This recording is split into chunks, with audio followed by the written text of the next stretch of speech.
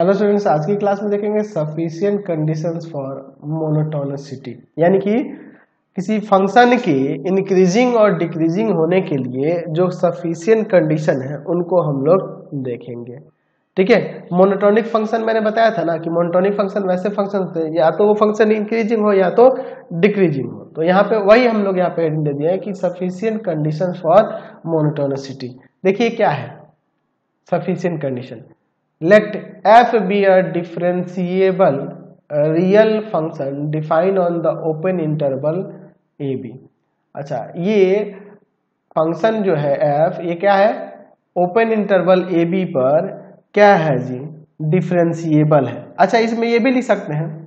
इसमें तो अगर ये डिफरेंशिएबल है तो कंटिन्यूस होगा ही, लेकिन चाहो तो इसमें लिख सकते हो कि and and and continuous continuous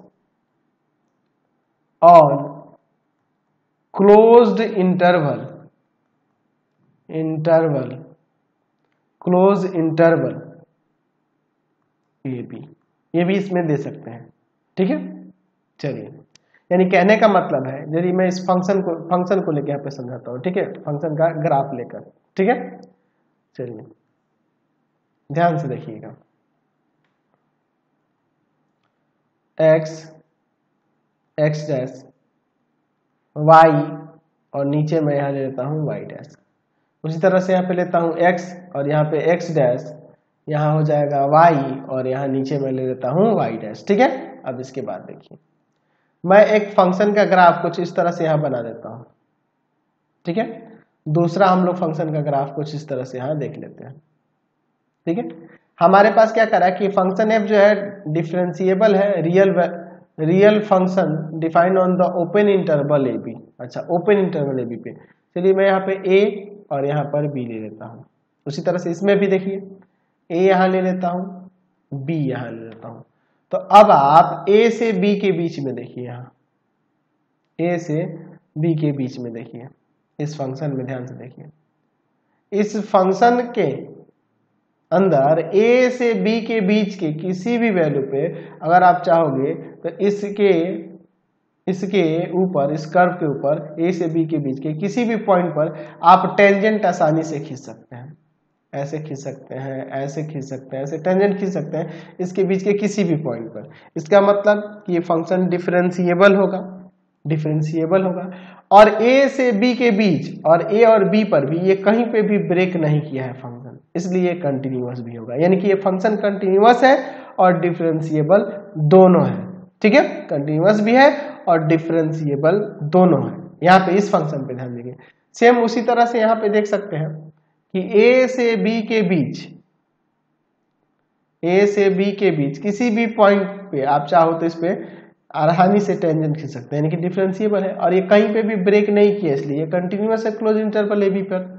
ठीक है तो ये फ़ंक्शन जो दिख रहे हैं, ये दोनों के दोनों फ़ंक्शन कंटिन्यूअस भी है और डिफरेंशिएबल है। कंटिन्यूस है क्लोज इंटरवल ए बी पे, और डिफरेंशिएबल है ओपन इंटरवल ए बी पर।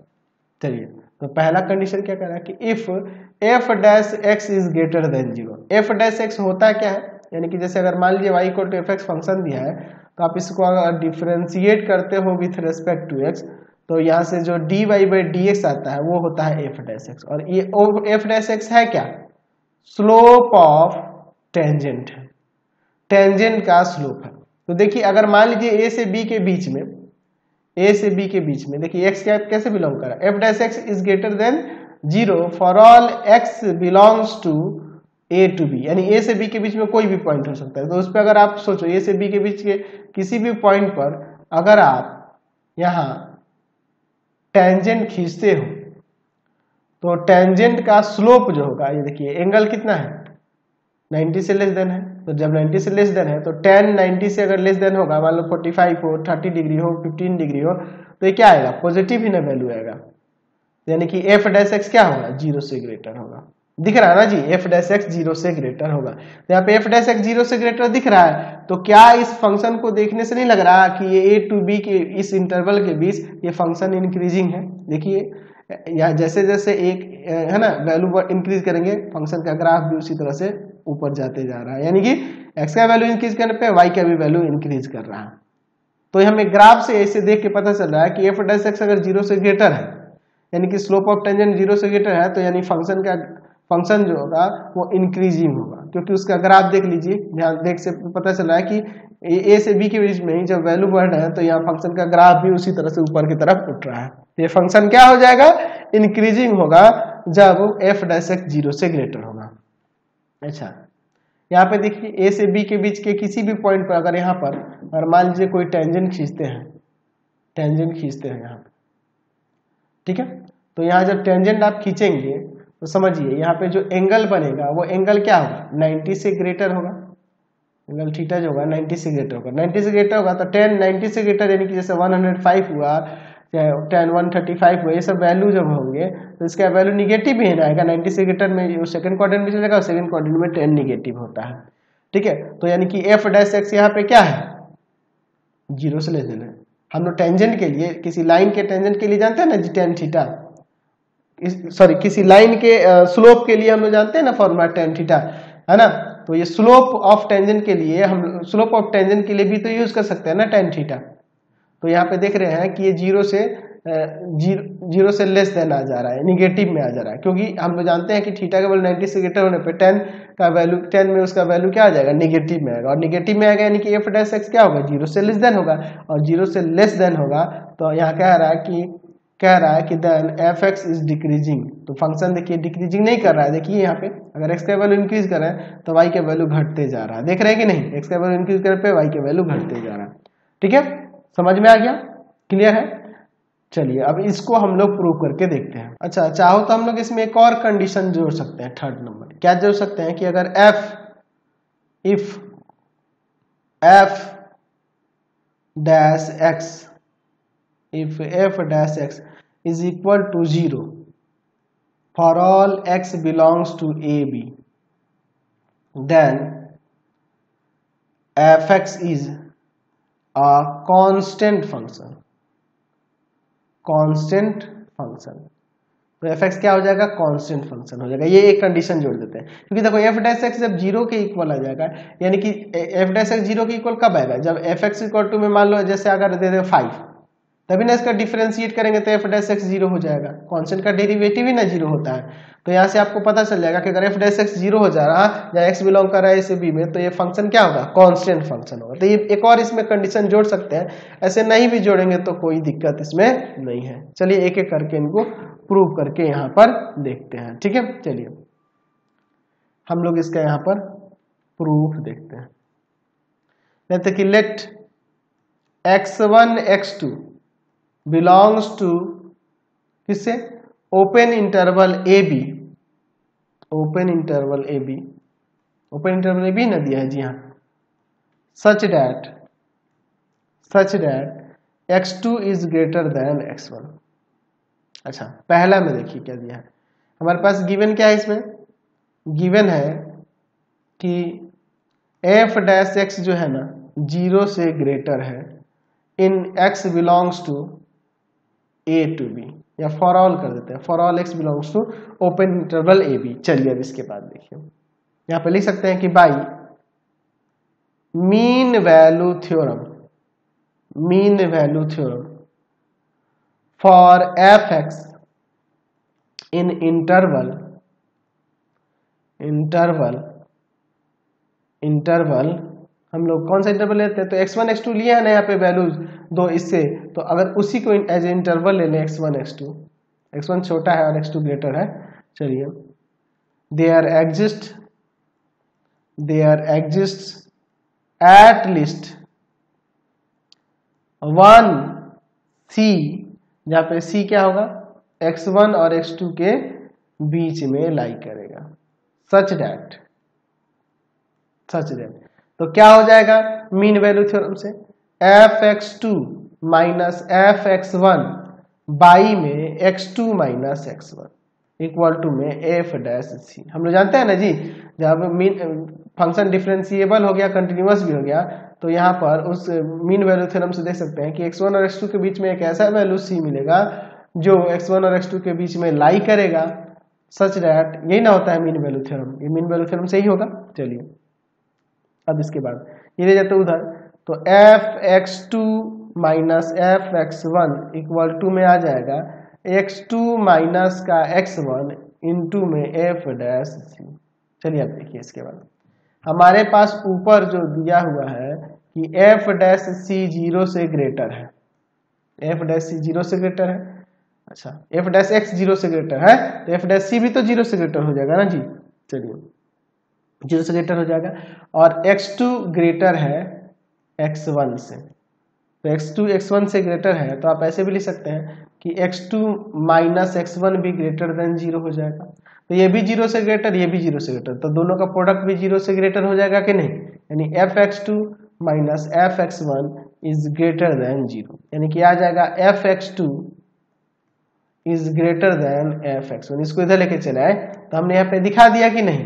F X two F X one से ग्रेटर हो जा रहा तो यहाँ पे लिख सकते हैं कि for all X one X two belongs to open interval A B यहाँ पे लिख सकते हैं कि therefore F X is strictly strictly increasing increasing function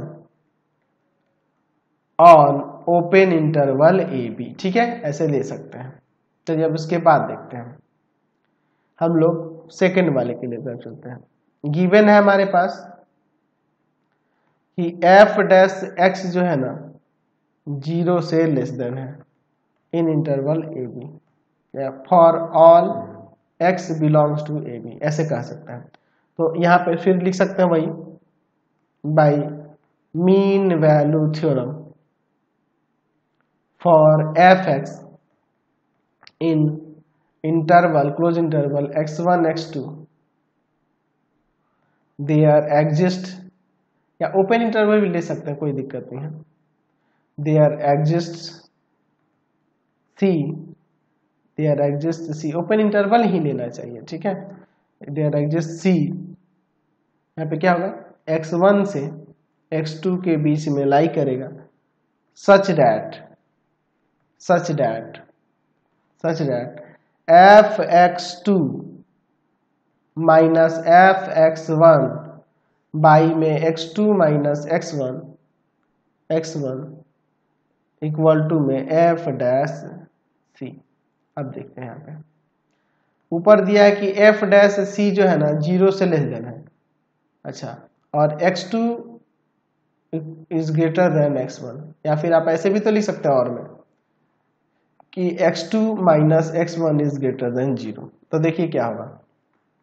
F X two minus F X one equal to में x2 टू माइनस का x1 और into में F dash C F X two minus का F X one equal to देखिए यहाँ पे। अब यहाँ पे ये यह देखिए, इसको समझ लीजिए इक्वल नहीं दिए ये ज़ीरो से ग्रेटर है और ये ज़ीरो से लेस देन तो पॉजिटिव निगेटिव मल्टीप्लाई होगा तो निगेटिव आएगा यानी कि ज़ीरो से लेस देन आ जाएगा। है कि नहीं? यहाँ से हो जाएगा कि F X two is less than F X one for all X one X two belongs to open interval A B ठीक है? अब इसके बाद देखिए। यानी हमने उसका उल्टा यहाँ पे दिखा दिया तो लिख सकते हैं यहाँ पे। Therefore F X is strictly strictly decreasing decreasing in open interval AB ठीक है स्ट्रिक्टली डिक्रीजिंग हो गया। और थर्ड में हमने दिया था कि कॉन्सेंट होगा। तो हमारे पास गिवन है। F dash X equal to में zero for all X belongs to open interval A B ठीक है?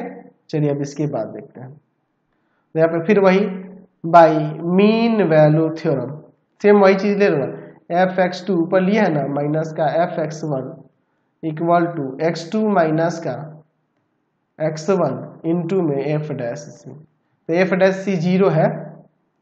तो एफ़ एक्स टू माइनस का F X one equal to में ये ज़ीरो हो जाएगा। क्यों? क्योंकि एफ़ डैश सी ज़ीरो है। चलिए। तो यहाँ से इसको उधर भेज देंगे तो एफ़ एक्स टू किसके इक्वल हो जाएगा? एफ़ एक्स वन के। ठीक है एफ़ एक्स वन के इक्वल हो जा रहा। तो जब इक्वल हो जा रहा for all X one X two belongs to open interval A B तो यहाँ पे लिख सकते हैं कि therefore f is a constant function constant function on open interval clear है? समझ गए? चलिए चलिए अब मोनोटॉनिक फ़ंक्शन से रिलेटेड ही एक कोरोलरी दिया हुआ इसको समझ लेते हैं। Let F X be a function define on inter open interval A B ये फ़ंक्शन कैसा है? कंटिन्यूस भी है और डिफरेंशिएबल है। कंटिन्यूस होगा क्लोज इंटरवल ए बी और डिफरेंशिएबल है ओपन इंटरवल डिफाइन है तो ये चीज़ होगा ही। पहला देखिए कि if F dash X zero से ग्रेटर है। For all X belongs to A B ठीक है, अगर एफ़ डैश एक्स ज़ीरो से ग्रेटर है तो ज़ीरो से ग्रेटर है तो पता ही है कि ज़ीरो से ग्रेटर होगा तो स्ट्रिक्टली इंक्रीजिंग फ़ंक्शन होगा। फिर क्या आ रहा है इसमें कि except for a finite number of point f dash x equal to zero then f x is increasing on open interval a b देखिए क्या कह रहा है कि फाइनाइट नंबर ऑफ़ पॉइंट है where f dash x equal to zero तो f dash x equal to zero करेंगे तो वहाँ से एक्स के जो आएँगे, हमें क्या मिलेंगे? वो पॉइंट्स मिलेंगे, वहाँ से कुछ पॉइंट्स मिलेंगे क्रिटिकल पॉइंट्स मिलेंगे और और वो क्रिटिकल पॉइंट्स मिलेंगे और then f x is increasing on open interval a b उसी तरह कह रहा है कि f dash x is less than zero होगा तो for all x belongs to a b except for a finite number of point finite number of point where f dash x equal to 0 then f x is decreasing on interval a b कहने का मतलब क्या है? कि ए से B के बीच इस interval में जब फ़ंक्शन का डेरिवेटिव निकालेंगे तो एफ़ डैश एक्स ज़ीरो से ग्रेटर होगा बट कुछ कंडीशन में एफ़ डैश एक्स ज़ीरो से इक्वल भी हो सकता है। ज़ीरो के इक्वल भी हो सकता है। कैसे? जैसे समझिए, मान लीजिए कोई ग्राफ बनाते हैं। समझिए यहाँ पे। कोई फ़ंक्शन का ग्राफ इस तरह से हुआ। तो इस पॉइंट पर, जैसे ए से बी के बीच में यहाँ पे पॉइंट देख रहे हैं एक ऐसा पॉइंट मिलेगा, इस पॉइंट पर एफ़ डैश एक्स क्या होगा? यानी कि स्लोप ऑफ़ टेंजेंट क्या होगा? तो ज़ीरो होगा, क्योंकि इस कंडीशन में ये एक्स एक्सिस के पैरल होगा, इसलिए स्लोप ऑफ़ टेंजेंट ज़ीरो हो जाएगा। तो वही कह रहा है कि क्या रहा है कि f dash x is greater than zero for all x belong x belongs to a b except for finite number of points where f dash x equal to zero यानी कि जहाँ पर एफ़ डैश एक्स ज़ीरो के equal हो, उसको छोड़कर उसको छोड़कर फ़ंक्शन क्या होगा? इंक्रीजिंग होगा। उसी तरह से डिक्रीजिंग के लिए कह रहा है। समझे ना बात को? तो इसका कोई खास यूज़ नहीं है, बस समझाने के लिए मैंने आपको बता दिया। हम लोग पीछे जो दो थ्योरम देखे हैं, उन्हीं का यूज़ हम लोग एक्सरसाइज में करने वाले हैं। करना क्या होगा?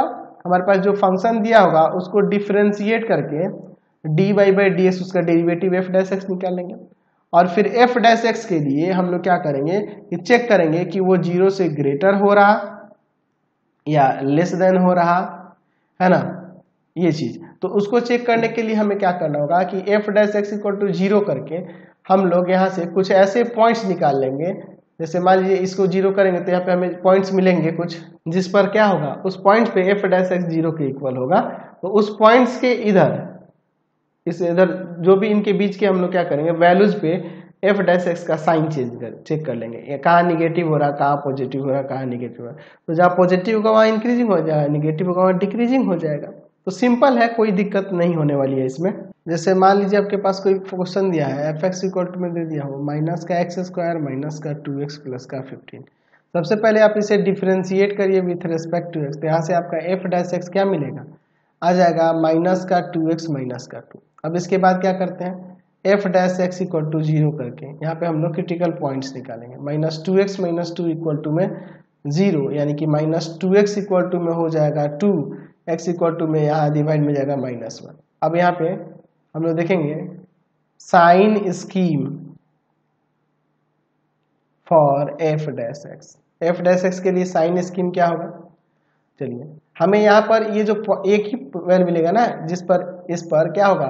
स्लोप एफ़ डैश एक्स जो होगा ज़ीरो के इक्वल होगा ना? तो इधर माइनस इन्फिनिटी इधर प्लस इन्फिनिटी और यहाँ एक ही पॉइंट मिला है। इस पॉइंट को क्रिटिकल पॉइंट कह देंगे। तो इस पॉइंट के इधर के वैल्यू पे या तो फ़ंक्शन इंक्रीजिंग हुआ या डिक्रीजिंग होगा या इसके इधर के पॉइंट पे सब पे इंक्रीजिंग या डिक्रीजिंग होगा तो इसीलिए हम लोग ये क्रिटिकल पॉइंट यहाँ निकाल लिया। तो इसकी इधर कोई भी वैल्यू होगा जैसे माइनस टू ही रख देते हैं। ठीक है? एफ़ डैश एक्स में। एफ़ डैश एक्स में यहाँ पे माइनस का माइनस का वन ही रख देते हैं। माइनस का माइनस वन से इधर सॉरी माइनस टू ही रख देते हैं। तो माइनस टू रखेंगे तो देखो माइनस टू रखने में माइनस प्लस प्लस का फोर फोर में से टू गया टू आ जाएगा। तो यानी कि पॉजिटिव हो जाएगा। इसके इधर कोई भी पॉइंट इसमें एक्स एफ़ डैश एक्स क्या होगा? पॉजिटिव होगा। इसके इधर जैसे अगर कोई भी रखेंगे तो यहाँ एफ़ डैश एक्स क्या आएगा? निगेटिव आएगा। तो यहाँ पे हम लोग कह सकते हैं हम लिख सकते हैं कि therefore f x is f dash यहाँ पे लिख सकते हैं कि f dash x is greater than zero in minus infinity to minus one so f x is f x is increasing on minus infinity to minus one ठीक है? And दूसरा देखिए, यहाँ पे निगेटिव में हो रहा। तो f dash x is less than zero in interval minus one to infinity के बीच तो यहाँ पे लिख सकते हैं कि so f x is decreasing decreasing on minus one to infinity समझ गए? तो इस तरीके से आप डिफ्रेंशिएट करेंगे f dash x equal to zero करके यहाँ पे पॉइंट्स निकालेंगे, उन पॉइंट्स को एक लाइन लेकर उसको डिनोट कर देंगे और उसके बीच में जो भी इंटरवल होंगे, उन सब पे हम लोग एफ़ डैश एक्स को चेक करेंगे और वहाँ पॉजिटिव होगा निगेटिव होगा, पता चल जाएगा। अगर पॉजिटिव होता है जिस पे तो उस इंटरवल पे इंक्रीजिंग हो जाएगा, जिस पे निगेटिव होगा, उस पर और डिक्रीजिंग होगा। सिंपल है। तो आज की क्लास में इतना ही। नेक्स्ट वीडियो में आगे देखेंगे। आपको हमारे तीन चैनलों को सब्सक्राइब करना होगा। पहला है Pathfinder Classes Chhapra. Pathfinder Classes Chhapra. दूसरा है आपके पास भारती भवन। रविकांत सर। रविकांत सर। और तीसरा चैनल है Ravikant sir, R D Sharma solution. R D Sharma solution. तीनों चैनल को सब्सक्राइब कर लेंगे। इससे रिलेटेड वीडियो के लिए सीधे डिस्क्रिप्शन में इससे रिलेटेड नोट्स के लिए गूगल पे जाकर सर्च करेंगे। W W W dot Ravikant sir dot in और यहाँ जाकर आप सभी क्लासेस के नोट्स उनके पीडीएफ को डाउनलोड कर सकते हैं, पढ़ सकते हैं। इंस्टाग्राम और फेसबुक पे जाकर पाथ फाइंडर क्लासेस अपना को लाइक एंड फॉलो करना नहीं भूलेंगे। Thanks for watching the video comment करके ज़रूर बताया करें कि हमारे चैनल के वीडियोज़ आप सभी को कैसे लगते हैं। Thanks for watching